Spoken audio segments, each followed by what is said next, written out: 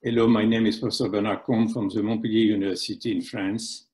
Today we'll be reviewing the symposium JAK inhibition for rheumatoid arthritis, a paradigm shift reality presented at EULAR 2020 and co-chaired by, by me and Professor Ulf Müller-Ladner from Germany. The symposium presentations were presented by Professor Hendrik Schulze-Koops from Germany, Professor Peter Taylor from the UK, and Professor Thorsten Witte also from Germany. The symposium objectives are to increase the knowledge among the attendees on how the different JAK inhibitor works, to edu educate the attendees on how to better treat their rheumatoid arthritis patients by sharing with them the latest evidence from both clinical trials and real-world data.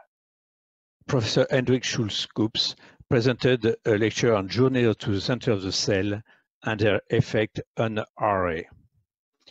First of all, he discussed about JAK-STAT signaling pathway and uh, the selectivity of different JAK inhibitors.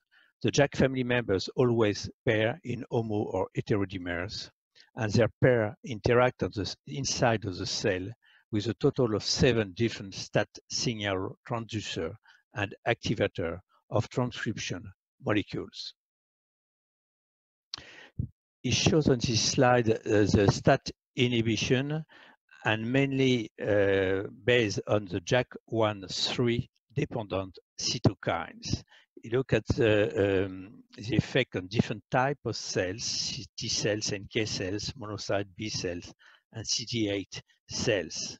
And what we can uh, summarize is that the IC50 values for any given JAK inhibitors were similar across cell types and were dose dependent.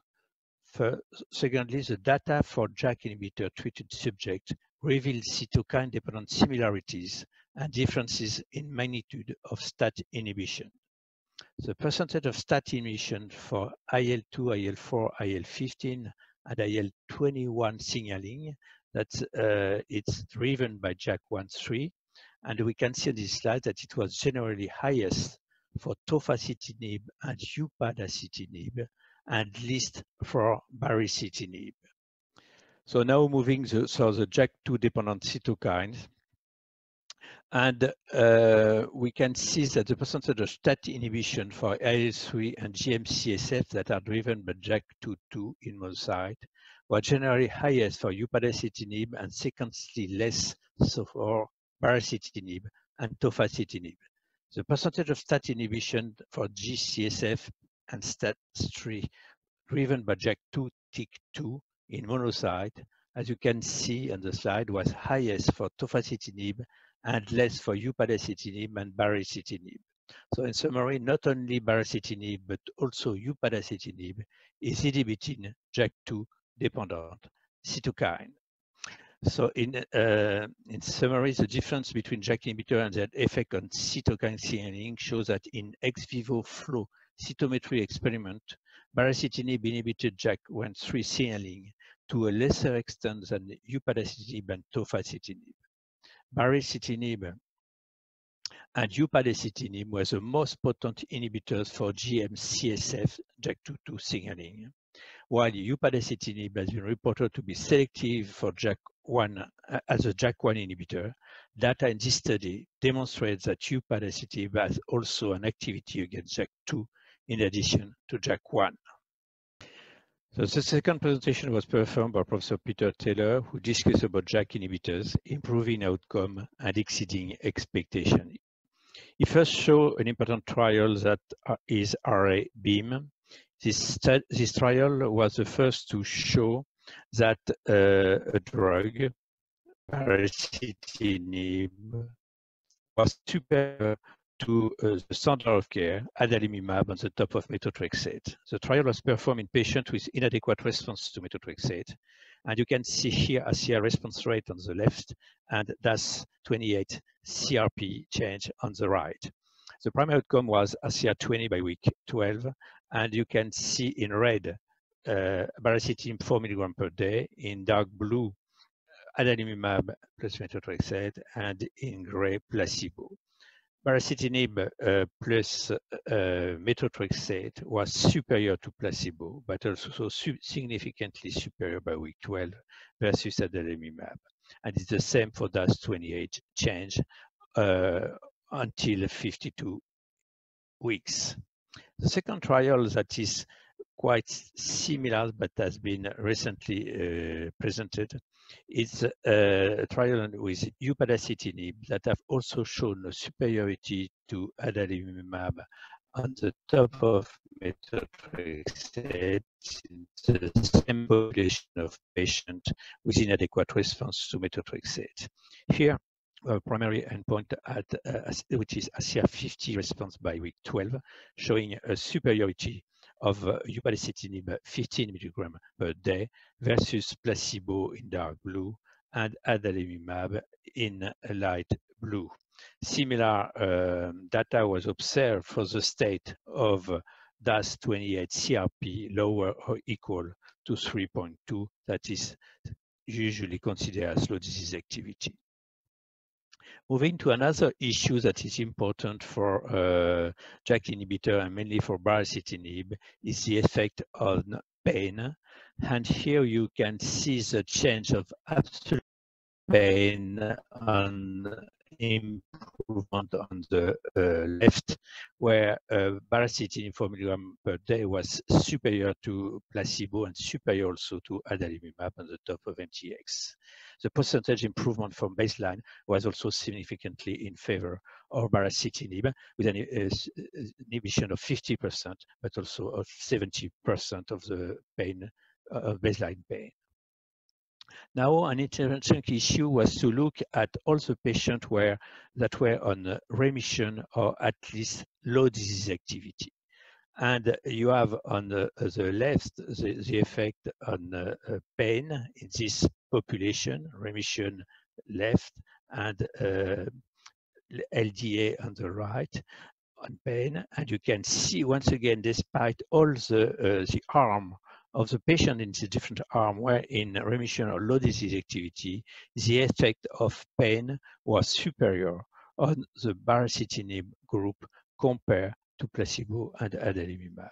We have similar data when looking at the function evaluated by the HAQ Disability Index on the um, right-hand side of the slide. So in conclusion, JAK inhibitors have shown superiority for some endpoint versus TNF inhibitors. Baricitinib and also upadacitinib show a stronger, more rapid and sustained pain reduction than TNF inhibition.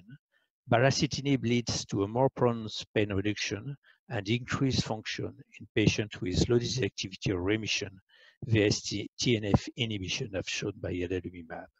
The various available JAK inhibitors have difference with regard to available doses, metabolism and drug-drug interaction, this might influence the choice for a specific JAK inhibitor. As opposed to other JAK inhibitors, baricitinib is available as 4 mg per day or 2 mg once daily tablet. It has been shown that the majority of patients maintain low disease activity or remission after reducing the dose from 4 mg to 2 mg and can recapture these states if they are lost. Now, the last presentation was proposed by Professor Thorsten Witte from Germany. He discussed about, about growing up new evidence from the real world. First of all, he showed the, um, the, the discontinuation uh, drug, uh, the discontinuation rate of the different drugs, TNF inhibitors, baricitinib in red, and um, biologics DMARD with other mode of action in unadjusted drug maintenance was significantly shorter in the TNF inhibitor compared to the baricitinib. And after adjustment for potential confounding factors, the reserve of TNF inhibitor discontinuation remained higher than for baricitinib. A similar trend was observed with uh, other mode of action, biologic DMARD. I forget to, to, to tell you that this data come from the Swiss registry. So another study was shown during the uh, virtual uh, EULAR meetings in June.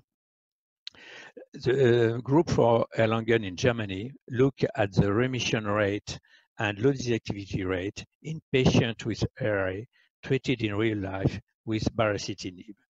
And surprisingly, the, the remission rate and the low disease activity uh, rate were very high, since 50% uh, of the patient achieve a remission uh, state uh, during the follow-up, and almost 90% were in low disease activity. So in summary and conclusion from the real life data, the real world evidence confirms clinical trial data of JAK inhibitors. The patient population treated with JAK inhibitor may vary between countries. I didn't show you the slide, but it's, uh, it's a reality. In a large proportion of patients, JAK inhibitors are used as monotherapy, almost 50% and sometimes more in some countries. JAK inhibitors show a high drug survival probability, and baricitinib demonstrated a significantly higher drug maintenance than TNF inhibitor, while similar trend was observed in comparison to drugs with another mode of action. So the discussion was very uh, important in this symposium and uh, the conclusion of from the symposium presentation I can summarize by the selectivity of JAK inhibitors is relative and dose dependent.